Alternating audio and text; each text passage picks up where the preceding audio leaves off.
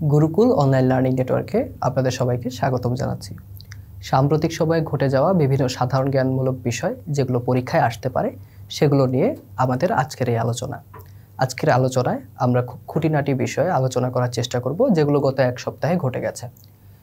নিয়মিত আপনাদের সাথে এই আলোচনাগুলো নিয়ে আমি আসছি আসিফ রহমান। সরাসরি আমরা আলোচনায় চলে যাই।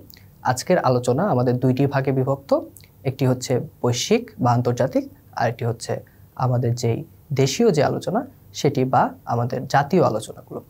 প্রথমেই আমরা চলে যাই বৈশ্বিক বর্তমান কী অবস্থা রয়েছে। আমরা দেখতে পাচ্ছি ইউক্রেন যুদ্ধ বৈশ্বিক খাদ্য সংকট সৃষ্টি করতে পারে, এটি বলেছে জাতিসংঘ। আমরা ইতিমধ্যেই দেখছি যে বিশ্বে বিভিন্ন ধরনের অর্থনৈতিক সংকট তৈরি হয়ে যাচ্ছে। বর্তমানে প্রত্যেক দিন ডলারের দাম এবং ডলারের কেন্দ্রিক বিভিন্ন মুদ্রার দাম কিন্তু উপর নিচ হচ্ছে, সেটি আমরা দেখতে পাচ্ছি একটি অস্থিতিশীলতা বিশ্ববাজার আমরা লক্ষ্য করতে পারছি। এবং এর মাধ্যমে ইউক্রেনের যে যুদ্ধটি, সেই যুদ্ধটি কিন্তু একটি খাদ্য সংকটের সৃষ্টি করতে পারে বলে জাতিসংঘের যে মহাসচিব রয়েছেন, তার নাম হচ্ছে আন্তনিও গুতেরেস। সেই আন্তনিও গুতেরেস তিনি কিন্তু জানিয়েছেন যে এটা একটা খাদ্য সংকট সৃষ্টি করতে পারে। তো আমরা একটু দেখি, জাতিসংঘ সতর্ক করে বলেছে ইউক্রেনের রুশ আগ্রাসনের কারণে আগামী মাসগুলোতে বিশ্বব্যাপী খাদ্য সংকট দেখা দিতে পারে। আজ বৃহস্পতিবার বিবিসি অনলাইনের প্রতিবেদনে এইসব তথ্য জানানো হয়। অর্থাৎ এটি আজকেরই ঘটনা। আন্তনিও গুতেরেস তিনি কিন্তু বলেছেন যে একটা খাদ্য সংকট তৈরি হতে পারে। এই যে সংকটের রাজনীতি, এগুলো কিন্তু আমাদের পরীক্ষার জন্য খুবই গুরুত্বপূর্ণ। সেক্ষেত্রে ইউক্রেন যুদ্ধ নিয়ে আমরা বারবার আলোচনা করেছি, বিভিন্ন বিষয় নিয়ে আলোচনা করেছি। এই সিরিজে আমরা আলোচনা করেছি ইউক্রেনের খুঁটিনাটি থেকে শুরু করে, রাজধানী থেকে শুরু করে সব কিছু আলোচনা করার, একই সাথে রাশিয়ার সব কিছু আলোচনা করার। আপনারা এই সিরিজগুলো যদি আবার দেখে আসেন, তাহলে আপনারা মোটামুটি ইউক্রেন এবং রাশিয়া যুদ্ধের একটি সাধারণ ধারণা কিন্তু অর্জন করতে পারবেন। সেক্ষেত্রে আজকের শেষ যে ঘটনা সেটি হচ্ছে যে এই ব্যাপারে এখন পর্যন্ত আন্তনিও গুতেরেস বা জাতিসংঘের মহাসচিব তিনি একটি মতামত দিয়েছেন। এই জিনিসগুলো আমাদেরকে দেখতে হবে। সাম্প্রতিক সময়ে ইউক্রেন এবং রাশিয়ার যে যুদ্ধ, এটি প্রতি মুহূর্তে চেঞ্জ হচ্ছে, প্রতি মুহূর্তে এটি বাক নিচ্ছে বিভিন্ন দিকে। তাই ইউক্রেন এবং রাশিয়া যুদ্ধের যে কোনো গুরুত্বপূর্ণ বিষয় আমাদেরকে মাথায় রাখতে হবে। এবার চলে আসি আমাদের পার্শ্ববর্তী দেশ আসাম, সেই আসামে বন্যা হয়েছে, সেই বন্যায় নয় জনের মৃত্যু ঘটেছে। এই জিনিসগুলো আমাদেরকে দেখতে হবে। আসাম খুবই গুরুত্বপূর্ণ একটি আলোচনা। আমরা জানি সেভেন সিস্টার্সের যে সাতটি রাজ্য রয়েছে, সেই সাতটির মধ্যে একটি হচ্ছে আসাম। এবং এই আসাম কিন্তু খুবই গুরুত্বপূর্ণ। কারণ এখানে আসামের যে ভাষাটি আছে, সেটি আমাদের ভাষার কাছাকাছি একটি ভাষা, অসমিয়া যে ভাষাটি আছে, সেটি আমাদের বাংলা ভাষার কাছাকাছি একটি ভাষা। আসাম কিন্তু বিভিন্ন আন্দোলন সংগ্রামের একটি জায়গা এবং যেহেতু এটি সেভেন সিস্টার্সের অন্তর্ভুক্ত, তাই আসাম কিন্তু আমাদের খুবই গুরুত্বপূর্ণ আলোচনার মধ্যে থাকবে। এবং যেহেতু বন্যা পরিস্থিতি হচ্ছে, এই বন্যার কয়জন মারা যাচ্ছে এবং বন্যা পরিস্থিতি কি, এটার উপরে সাধারণ একটি ধারণা আমাদের রাখা উচিত। এখন আমরা বলতে পারি যে আমাদের যে সিলেট অঞ্চল রয়েছে, সেখানেও কিন্তু আমরা দেখতে পাচ্ছি যে বন্যা পরিস্থিতির যে অবস্থা রয়েছে, সেটি কিন্তু আস্তে আস্তে অবনতি হচ্ছে। এবার চলে আসি, আমরা যদি একটু শ্রীলঙ্কার দিকে তাকাই। শ্রীলঙ্কাও বর্তমান সময়ে যে কোনো পরীক্ষার জন্য খুবই গুরুত্বপূর্ণ। শ্রীলঙ্কা নিয়েও আমরা গত কয়েক দিনে বা গত কয়েক সপ্তাহে কিন্তু বিস্তর আলোচনা করেছি। আজকেও আমরা কিছুটা আলোচনা করব। তবে আমাদেরকে দেখতে হবে, শ্রীলঙ্কা বর্তমানে ভয়াবহ খাদ্য সংকটের দিকে আছে। এবং এই সংকট, এটি কিন্তু আমরা, এইটি কিন্তু আমরা একটা সম্পর্ক তৈরি করতে পারি, ওই যে রাশিয়া, ইউক্রেনের যে বিষয়টি রয়েছে সেটির সাথে। রাশিয়া এবং ইউক্রেনের যেই যুদ্ধ রয়েছে, সেটির প্রভাবে সমগ্র বিশ্বে কিন্তু খাদ্য সংকট হচ্ছে। সেই জায়গায় একটা রাজনৈতিক সংকট কিন্তু শ্রীলঙ্কাকে আরও জেকে বসেছে এবং এইটার ফলে কিন্তু দেখা যাচ্ছে যে উভমুখী একটা চাপের কারণে শ্রীলঙ্কায় ভয়াবহ খাদ্য সংকট দেখা দিচ্ছে। এবার যদি আমরা একটু খেয়াল করে দেখি, তাহলে খুবই গুরুত্বপূর্ণ, দুই হাজার উনিশ সালে তেইশ লাখ মানুষের মৃত্যু ঘটেছে ভারতে এবং ভারতের সবচেয়ে গুরুত্বপূর্ণ একটি শহর ভারতের রাজধানী নয়াদিল্লি। এটি কিন্তু পৃথিবীর দূষিত শহরগুলোর মধ্যে অন্যতম। এখন যেটি আমাদের জন্য সবচেয়ে গুরুত্বপূর্ণ তথ্য এবং যেটি চলে আসতে পারে বিভিন্ন পরীক্ষায়, সেটি হচ্ছে যে দূষণ মানচিত্রে বা দূষণ র্যাঙ্কিংয়ে বর্তমানে কোন রাষ্ট্রটি এক নম্বরে রয়েছে, সেটি হচ্ছে ভারত।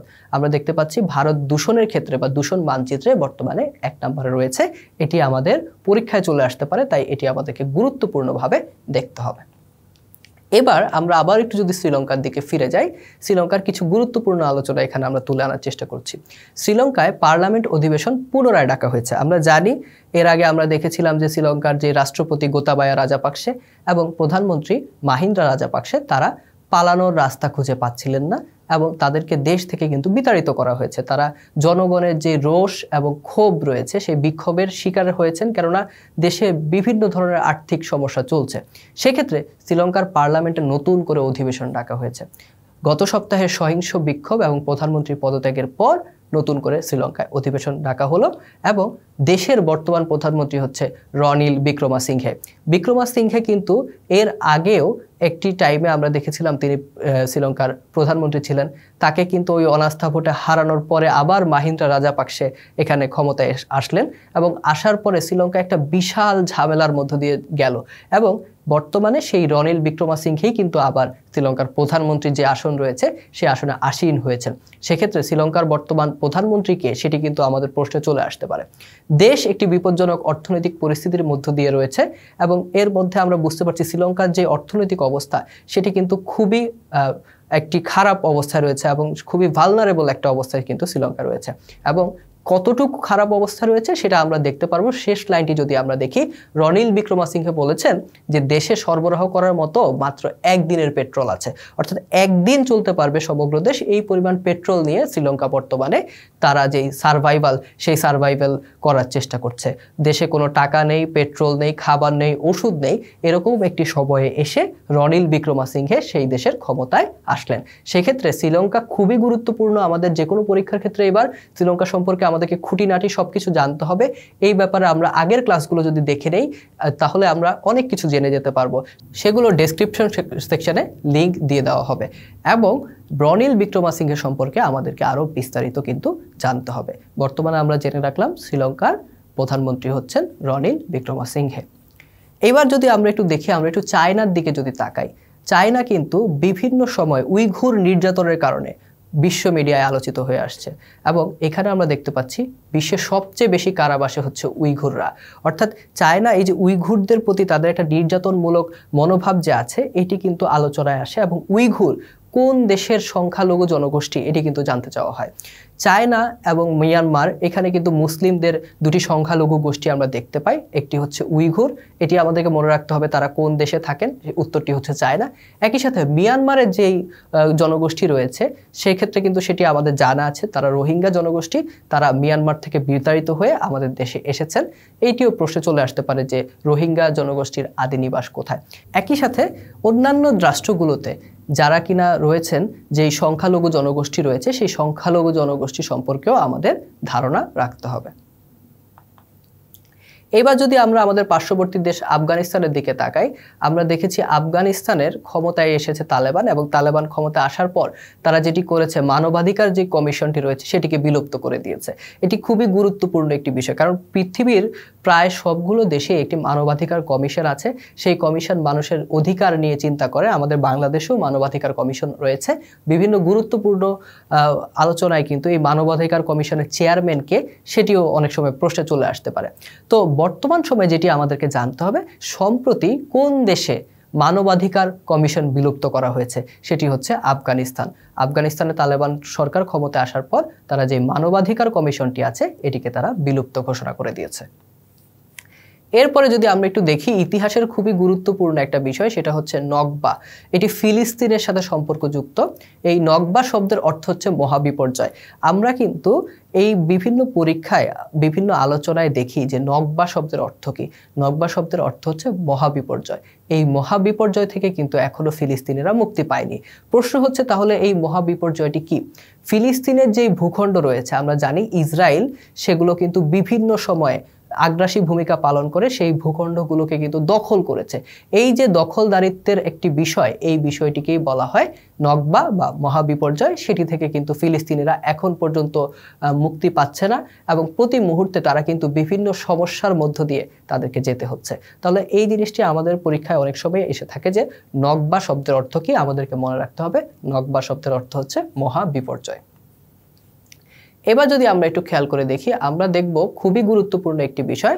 তিন দশক পর নারী প্রধানমন্ত্রী পেল ফ্রান্স, এটি পরীক্ষায় চলে আসতেই পারে।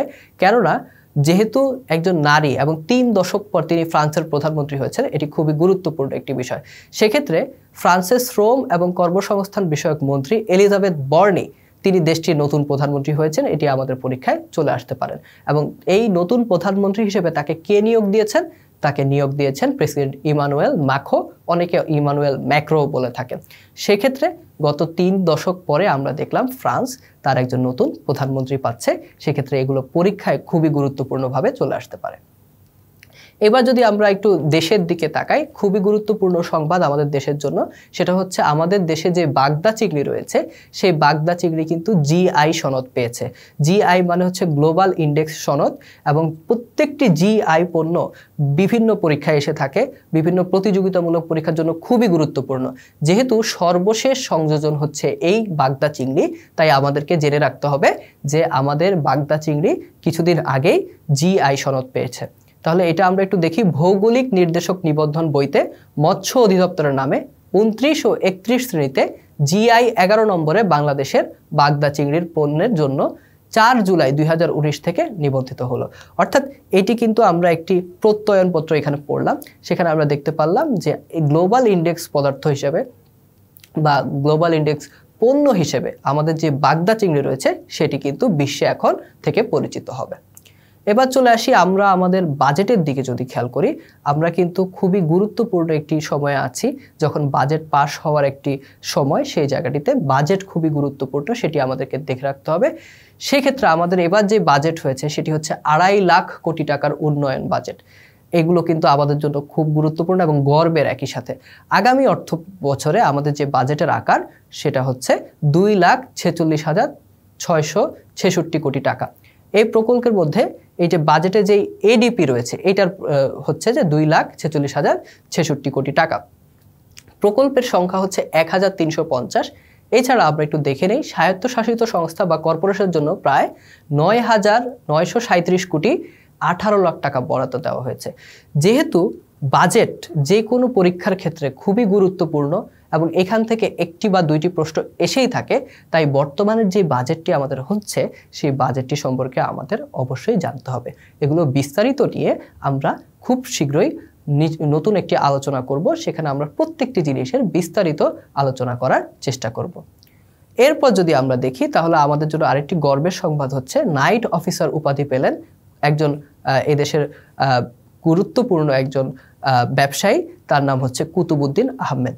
তিনি হচ্ছে স্পেনের রাজার পক্ষ থেকে এই সম্মাননা গ্রহণ করেছেন এবং বাংলাদেশে নিযুক্ত স্পেনের রাষ্ট্রদূত ফ্রান্সিসকো দে আসিস বেনিতে সালাস তাকে সম্পূর্ণ, সম্প্রতি দূতাবাসের ডেকে এই পুরস্কারটি প্রদান করে। তো আজকের আলোচনাটি মোটামুটি আমাদের এই পর্যন্তই। আজকের আলোচনায় আমরা সম্প্রতি বিশ্বে ঘটে যাওয়া বিভিন্ন জিনিস এবং বাংলাদেশের জন্য গুরুত্বপূর্ণ তিনটি ঘটনা এখানে আমরা দেখলাম। এই আলোচনাটি যদি আপনাদের ভালো লেগে থাকে এবং এই আলোচনাটি সম্পর্কে যদি আপনাদের কোনো প্রশ্ন বা মতামত থেকে থাকে, অবশ্যই সেটি আমাদেরকে কমেন্ট সেকশানে জানাবেন। আর আলোচনা সম্পর্কিত যে কোনো প্রশ্নের জন্যই আমরা আপনাদের সাথে থাকব এবং আপনাদের প্রশ্নের উত্তরগুলো আমরা দেওয়ার চেষ্টা করব। এতক্ষণ ধরে গুরুকুল অনলাইন লার্নিং নেটওয়ার্কের সাথে থাকার জন্য আপনাদের সবাইকে আবারও ধন্যবাদ জানিয়ে আজকের আলোচনাটি এখানেই শেষ করছি। ধন্যবাদ।